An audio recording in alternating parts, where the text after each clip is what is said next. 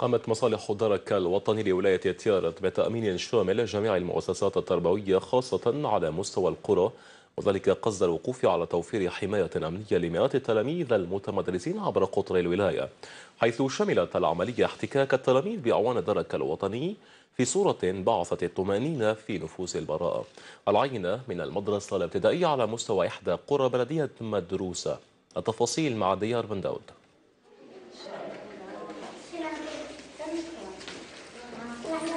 تم اتخاذ جميع الإجراءات الأمنية اللازمة حيث سخرت القيادة كافة الإمكانيات البشرية والمادية اللازمة بما فيها فرقة الأحداث للدرك الوطني بتيارت مع وضع تشكيل أمني ثابت على مستوى المؤسسات التعليمية التابعة لإقليم بلدية مدروسة والآخر متحرك على في شكل دوريات على محاور الطرقات لضمان دخول مدرسي في ظروف أمنية حسنة.